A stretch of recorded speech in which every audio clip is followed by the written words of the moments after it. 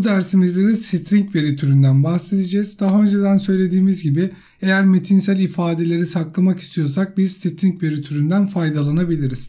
Ama bunun öncesinde yine belki bir yerlerde duyarsınız, görürsünüz. E, literal diye bir kavramımız var. Literal dediğimiz kavram aslında şu oluyor. Ben buraya gelip işte çift tırnakların içine emre yazıp bu satırı böyle bitirebilirim. 52 yazıp burayı böyle bitirebilirim. Yalnız e, dediğimiz gibi hani ben bu ifadeyi yazdırmak istediğimde mesela emre ifadesini yazdırmak istediğimde ben bu alana nasıl ulaşacağım değil mi? Sorun bu. Yani şu programı şu şekilde çalıştırdığımda bu arada ben yine yeni bir dosya oluşturdum ve bu dosyayı launch.json dosyasına ekledim. Hani debug yaptığımda buradan başlasın diye konsolda herhangi bir şey göremiyorum. Zaten işte değişkenleri kullanma amaçlarımız bu. Yani ben bunun gidip bir string olduğunu söyleyip string isim deyip bu alana ne yapabilirim? Ulaşabilirim. Aslında amacımız buydu. Literal dediğimizde işte bu tek satırlık alan oluyor. Şimdi gelelim stringlere. E, Dart dilinde stringleri tanımlamak için farklı farklı yollarımız mevcut.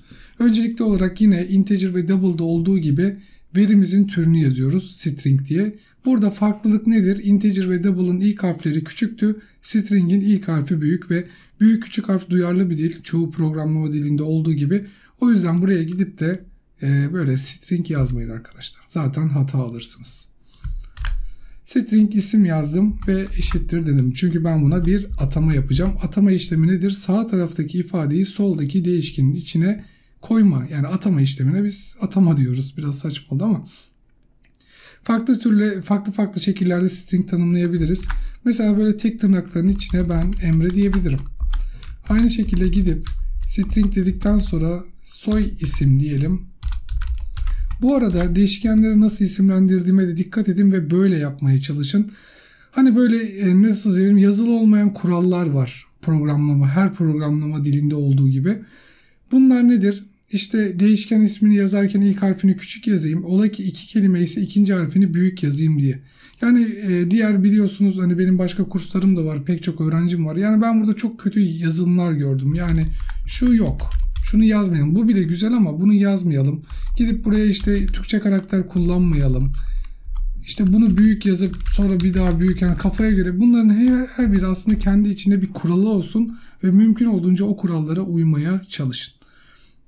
Şu an için bunları hiç bilmiyorsanız lütfen benim yazdığım şekilde hani siz isim demezsiniz de ad dersiniz onu anlarım ama e, gidip de şunu demeyin arkadaşlar. Hatta M'yi de büyük yapalım iyicene abartalım.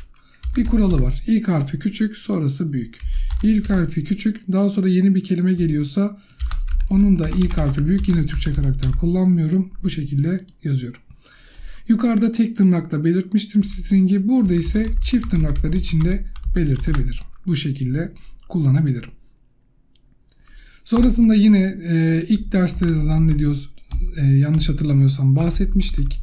Şöyle string dedim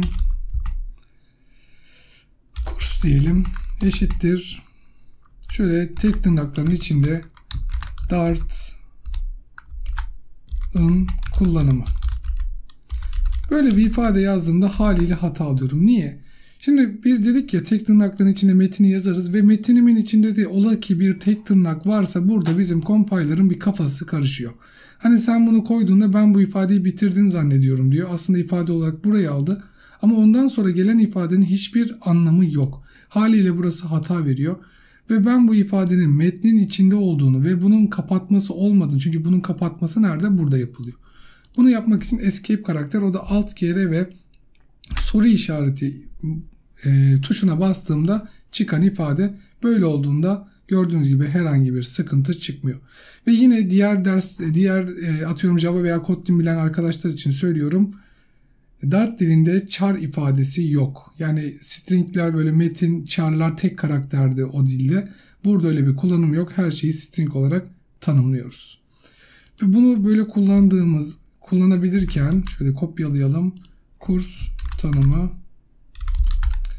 Buna da çift tırnaklar içinde dart'ı ve flutter'ı öğreneceğiz.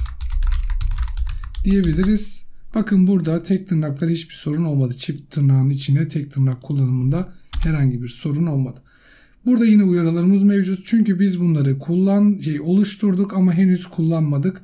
Bunlar sadece uyarıdır. Herhangi bir hata değildir. Çalıştırdığınızda herhangi bir hata almayacağınız gibi herhangi bir çıktı da alamazsınız. Peki bunları nasıl kullanacağız? Tabii ki de printlerle bunları kullanabiliriz. Mesela ben buraya isim deyip bu ifadeyi yazdırabilirim. F5'e bastım. Emre'yi gördüm. Daha önceden ne öğrenmiştik? Biz artı işaretiyle ifadelerimizi birleştirebiliriz değil mi? İki tane metinsel ifadeyi artı işaretiyle operatörüyle birleştiririz ama arada bir boşluk olmadı. ya kolay yolu seçip gidip ikinci metnin başına böyle boşluk koyacaksınız ki çok da hoş bir kullanım olmaz. Bunu eski haline getirelim. Ya da bu isimden sonra deyip daha sonra çift tırnak veya tek tırnakta bir boşluk bırakıp yine bu ifadeyi bu şekilde bağlayabilirsiniz. Bu şekilde. Ama aslında yine hani dedik ya yazılı olmayan bazı kurallar var. Hani bu da böyle e, uygun bir yöntem değildir. İki ifadeyi string iki ifadeyi böyle birleştirmek için artı kullanmak uygun bir e, ne bileyim kabul edilmiş daha doğru kullanımı şu şekildedir. Burada işte interpolation kavramı karşımıza çıkıyor. Nasıl oluyor peki? Şöyle dolar isim dedikten sonra dolar dolar isim dedik. Şöyle bir yazdıralım. Şöyle yapacağız. Hani ben buraya bir ifade yazacağım ya. Evet çift tırnaklarımı belirttim. Dolar isim dediğimde bu şu demek. Bu string ifadenin içine değişken adı isim olan değeri yazdır. Yani Emre'yi yazdıracak. Sonra boşluğumu koydum. Daha sonra da gidip bu sefer soy ismi yazdır diyebilirim. Bakalım. Gördüğünüz gibi. Hatta bunun başına şöyle inter hani bunları kullanıyorum çünkü yarın öbür gün bir yerde görürken bu interpolation neymiş diye düşünmeyin. Aslında bu. Interpolation iki nokta dedi. Önce dolar dediğim için değişkenimin adına sonrasında yine dolar dediğim için soy isim değişkeninin değerini ekrana yazdırıyor. Gördüğünüz gibi. Ve boşluğu da bu şekilde kullanabiliyorum. Şimdi bunlar gayet güzel. Peki şöyle bir şey yapabilir miyiz? Mesela şöyle geldim pardon. Print dedim. Benim adımda şu kadar benim adımda olan karakter sayısı dedim. Ben burada mesela dolar Emre deyip pardon Emre diyorum isim dedim. Yani Emre'deki karakteri bulacağım. Nokta deyip bunun length alanına ulaşabilirim aslında. Tabi burada ulaşamıyorum. Niye? Eğer böyle birbirine bağlı ifadeler varsa burada da süslü parantez kullanıyoruz. Şundan dolayı isim nokta length. Bakın artık bunun bir string olduğunu algıladı. Yani bu aslında şu demek. Dolar isim dersem direkt ismi yazdırıyor evet ama benim burada bu metinin içine yazdırmak istediğim diğer metin nedir? İsim nokta length yani isim değişkeninde bulunan karakterlerin sayısını biz length metoduyla alıyoruz. İsim nokta length dediğimde ne olacaktır? Bunun içinde yani ismin içinde Emre var 4 karakter olduğu için ekrana 4 yazdıracaktır. Gördüğünüz gibi. Hani isim e, altın bilek yazdıralım mesela. Şöyle bunu Ctrl C V yaptım. Benim soyadımda olan karakter sayısı bu sefer isim değil soy isim değişkeninin lentine baksın. Yani uzunluğuna baksın. O da gördüğünüz gibi 10 olarak yazdı. Burada niye süslü parantez kullandık? Dediğim gibi dolar soy isim dersem direkt soy ismi yazdırıyordu. Oysa ki ben burada neyle ilgileniyorum? Soy isim nokta lenti. Yani bu da ayrı bir değişken gibi düşünün. Onun değeriyle ilgilendiğim için bunları böyle süslü parantezlerin içine koymak zorunda kaldım. Ola ki özellikle Flutter kısmında belki layoutlarımıza biz çok çok uzun e, string değerler koyabiliriz. Bu çok uzun bir yazı olacak.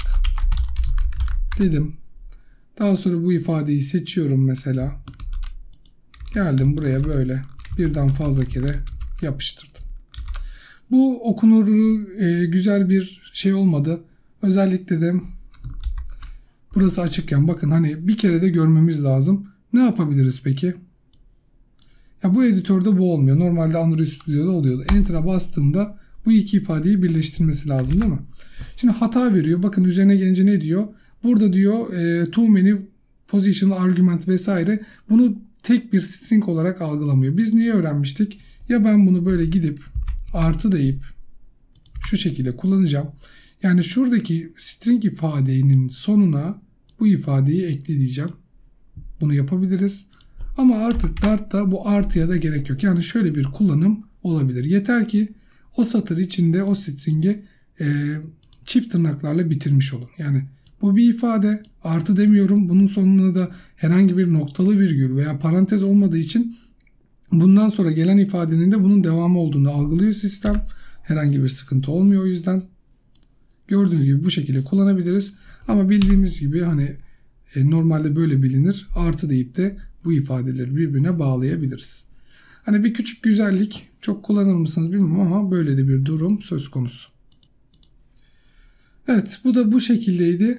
Ve şu literal e, interpolation dediğimiz kısmı aslında biz sadece string ifadeler için değil normal sayılar içinde kullanabiliriz. Mesela integer dedim sayı 1 dedim gittim buna 50 değerini atadım. Double dedim sayı 2 dedim buna da 55 nokta böyle bir değer atadım. Geldim aşağıya print diyorum. Aklımdan tuttuğum sayılar iki nokta deyip normalde bunları şu şekilde bağlayabilirim. Nokta deyip sayı 1 Bakın burada da yine bir hata alıyorum. Şöyle bir bakalım. Ne diyor? Integer e, string'i şimdi burası aslında biz belirtmesek de bir string ifade. Biz burada string'e integer bir değer koymaya, eklemeye çalışıyoruz. Haliyle hata veriyor. Burada şunu diyebilirim. Aklımdan tuttuğum şöyle diyelim. Birinci sayı bu. Bunu ama ne yapmam lazım? String'e çevirmem lazım. To string diyebilirim. Artı deyip bu ifadeye devam ediyorum. Boşluk bıraktım. İkinci sayı 2 nokta deyip yine artı deyip bu sefer de sayı 2 diyebilirim. Bu da yine aynı muhabbetten. Burası string, burası double kabul etmiyor. Bunu ne yapmamız lazım? Ya to string demem lazım. Şöyle bir şey var mıydı? String nokta parse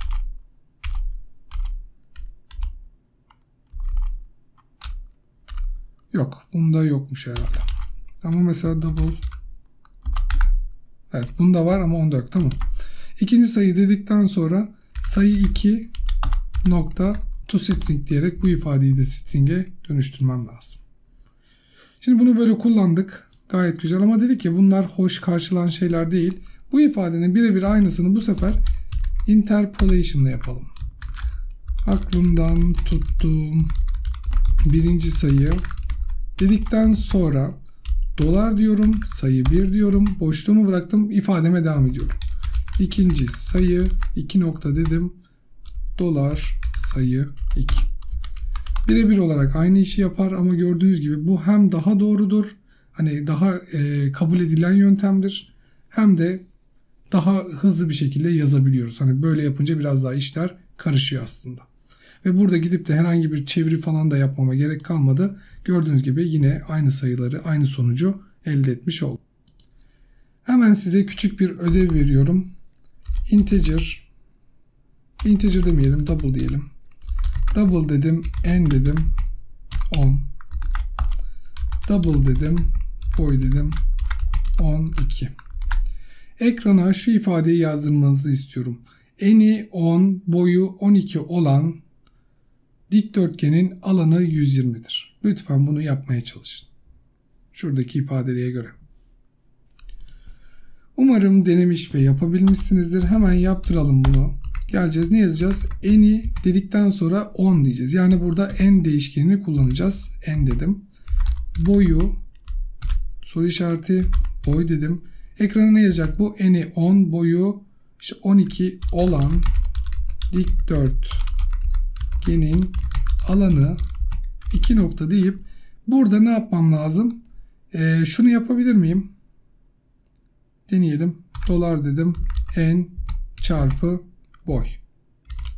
Sonuç ne olur? Bilmiyorum. Belki de böyle yaptınız. Sonuç ne olacaktır aslında? Ben sonuçta bir string ifadenin yani çift tırnağın arasında olduğum için şu çarpının herhangi bir matematiksel karşılığı olmayacaktır. Ekrana direkt ne yazacaktır? Evet metinsel olarak çarpı yazacaktır. Ama ben bu ikisini çarpıp bu metnin içine yazdırmak istiyorsam ne yapmam gerekiyordu? Süslü parantezleri kullanmam gerekiyordu. Bu şekilde. Yani bu ne demektir? n ile boyu çarp daha sonra bu ifadeyi string olarak yine bu string ifadenin içine yerleştir demek. Evet gördüğünüz gibi. Genel olarak stringlerin kullanımı bu şekilde. Yani şu kullanımı bilmemiz bizim Flutter'da Android ve iOS kısmında oldukça işimize yarayacaktır. Çok daha fazlası artık biraz detaya giriyor. Onları da yeri geldikçe kullanırız, öğretiriz. E, bu dersi burada bitirelim. Bir sonraki derste görüşmek